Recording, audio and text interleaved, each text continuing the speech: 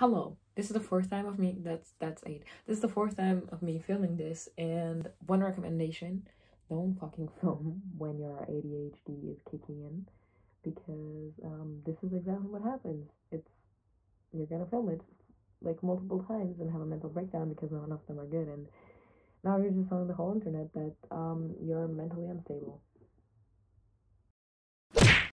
Okay, so today we're gonna talk about SpongeBob the movie, Sponge on the Run. The movie is about um, Gary getting kidnapped by Plankton because Plankton wants to get rid of SpongeBob and King Poseidon needs a snail, so Plankton was like, oh perfect, I have to get rid of SpongeBob and King Poseidon needs a snail, so I'm just gonna kidnap Gary and get rid of SpongeBob that way. So that's exactly what he did. I have a rash on my hand. Um, like as soon as he found out, he um, informed Patrick about it and then went to rescue Gary together with him. And Plankton obviously knew that he knew that that was gonna happen because that was that was his plan all along. So he gave them a card. he was like, just just go, go. And um, yeah, also a little detail I left out. He had like a robot that he indirectly got from Sandy, and he I don't know, Karen programmed it that way that it would just drive SpongeBob and Patrick somewhere far, far away, I guess. And that far, far away was this random bar where we meet Keanu Reeves. It's just Keanu Reeves in SpongeBob. Look at look like look at this. yes, I did that. And you would do it too for a check. I was an employee. And I was gonna get employee of the month, and that's on period. He just like his job was to help SpongeBob and Patrick find Gary.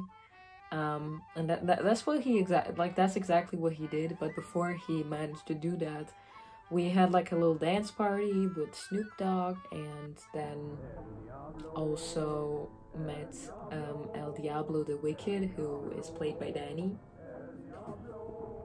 so yeah, um, El Diablo also had his zombie pirates for whatever reason that um, were actually really happy when SpongeBob and Patrick accidentally ended up killing El Diablo.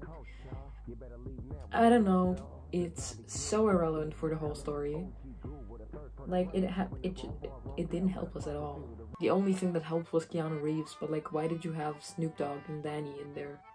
And the zombie pirates and just the bar in general. Like, can't you just like throw Keanu Reeves in there without like wasting 10 minutes of our time?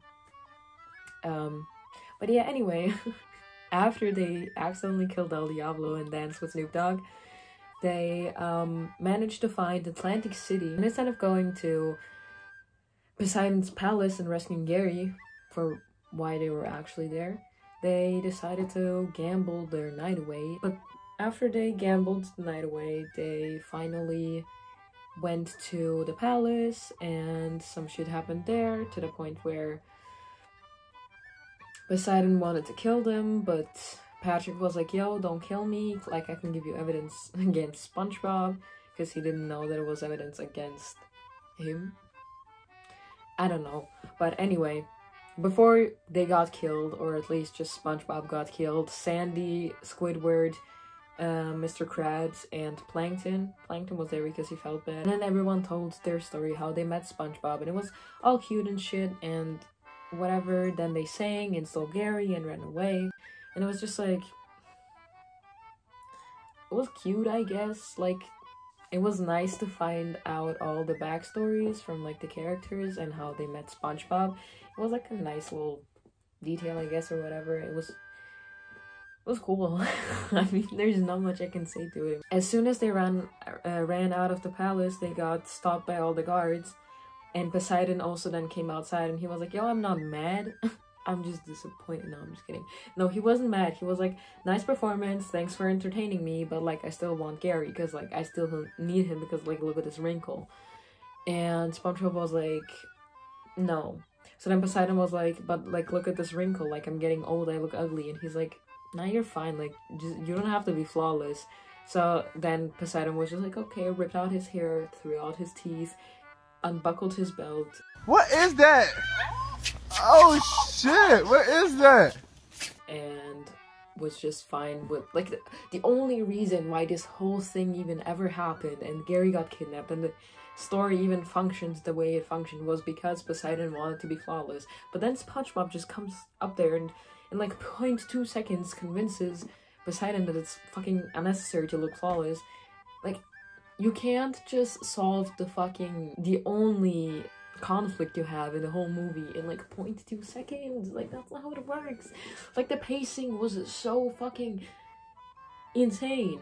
Like what like for 10 minutes you're just showing us Snoop Dogg singing and fucking zombie pirates and Danny who was playing El Diablo, the Wicked, and then they're just like, oh, oh wow. Like Poseidon is fine with not fucking looking flawless all of a sudden. Like, no. No the amount of frustration I am feeling right now is just so unnecessary. But it's just SpongeBob, you disappointed me. like, is it entertaining? Like, is the movie entertaining? Yes.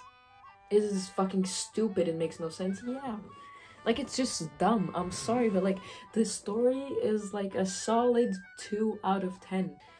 It, like, it's not that hard. Like, you had a nice base, you had a nice story, but you fucked it up. Like the way you told it, the pacing, the unnecessary shit in the middle. It's yeah.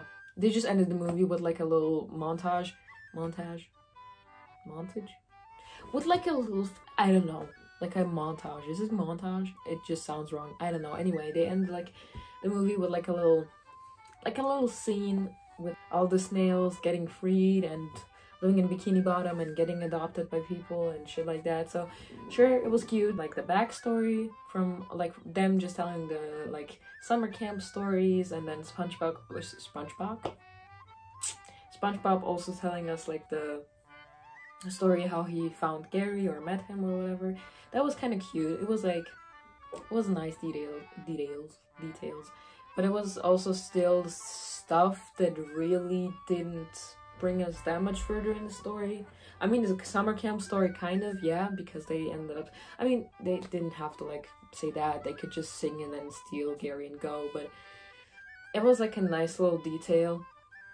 But that, yeah, it was a nice little detail. That's about it. It's it still didn't help us with the fucking story. It just made us more like. I mean, it was a smart move because definitely all the people that have been watching SpongeBob for years for example, me, we're like, like, you know, we have something good to say about the movie. You know, maybe I'm unnecessarily hating on it and it's not as bad as it seems to me. To just do like a little quick summary of my whole opinion about the thing um, at the end, it's like a 4 out of 10, I'd say.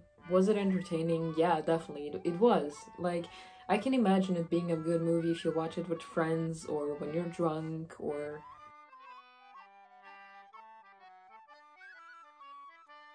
yeah, that's pretty much it. That's all I wanted to say, and now I'm gonna go eat lunch because it's like 5 p.m. and I haven't eaten anything but waffles today. So yeah, um, stay healthy. Hope you enjoyed watching my video. Bye. Hope you have a nice day, night, whatever. Bye mother trucker, dude. That hurt like a butt cheek on a stick.